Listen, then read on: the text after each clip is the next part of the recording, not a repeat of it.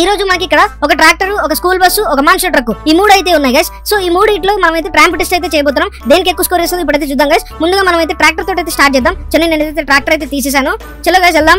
ఓ guys చూడండి tractor ఎంత స్లోగా పోతుందో. నేనైతే దీన్ని స్టార్ట్ చేశాను కానీ ఇది చాలా స్లోగా పోతుంది.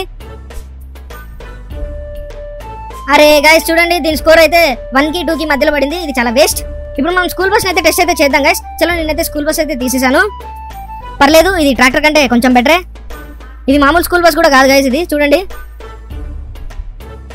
ఇది నెంబర్ ఫోర్ దగ్గర అయితే పడింది గైస్ ఓకే ఫైవ్ వరకు లాక్ వచ్చేసాను. ఇప్పుడు మనం మాన్స్టర్ ట్రక్ తోటి అయితే చేయబోతున్నాం. చలో గైస్ ఇదే ఆఖరిది. చూద్దాం ఇది అందరినీ బీట్ చేస్తుందో లేదో. దీని స్పీడ్ మాత్రం చాలా బాగుంది. అన్నిటికంటే ఇదే బాగా పోతుంది గైస్ చూద్దాం ఇది ఎంత ఎత్తులేస్తుందో ఓ.